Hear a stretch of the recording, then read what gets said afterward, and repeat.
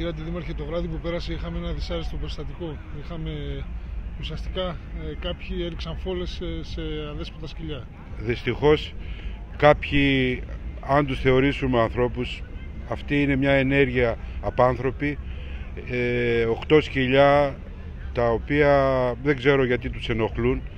Δεν φταίνε βασικά τα σκυλιά, κάποιοι τα, τα παρατάνε, κάποιοι αγανακτούν, αλλά δεν μπορούν να κάνουν τέτοιες ενέργειες. Εμείς καταδικάζουμε σαν Δήμος αυτές τις ενέργειες και παρακαλώ να μην προβεί, να μην προβεί κανένας σε τέτοιες ενέργειες γιατί δεν μας τιμά ως χώρα.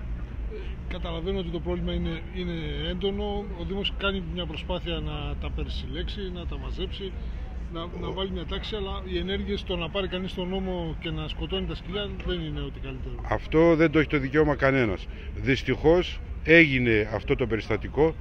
Εμείς, σαν Δήμος, προσπαθούμε καθημερινά βρίσκουμε καινούρια σκυλιά τα οποία κάποιοι τα παρατάνε. Δυστυχώς αυτή τη στιγμή που μιλάμε έχουμε περισυλλέξει γύρω στα 9-10 σκυλιά τα οποία έχουν γεννήσει και γίνανε αυτόματα 100. 100 και πλέον.